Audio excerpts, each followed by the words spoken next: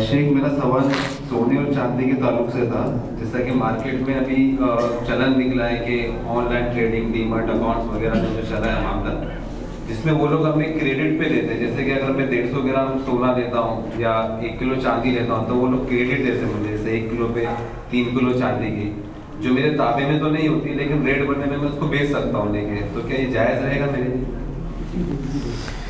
सोने और चांदी के बारे में अभी ज़िक्र किया गया कि कमी बेशी तो जायज़ है अगर जिन्स चेंज होती है। यानी एक तरफ़ सोना, दूसरी तरफ़ चांदी है तो कमी बेशी तो कर सकते हैं, पर ज़रूरी है नकदन हाथों हाथ। उधार नहीं सही है वरना सूद होगा।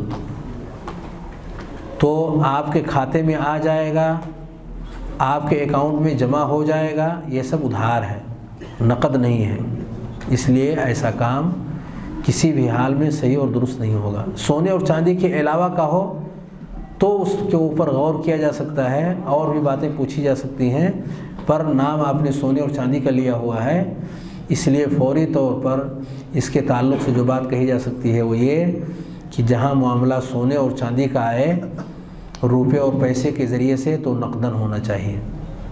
उनमें से कोई भी चीज़ उधार नहीं होनी चाहिए। इसलिए कि रुपया पैसा दरअसल सोने ही का एक दूसरी शक्ल है।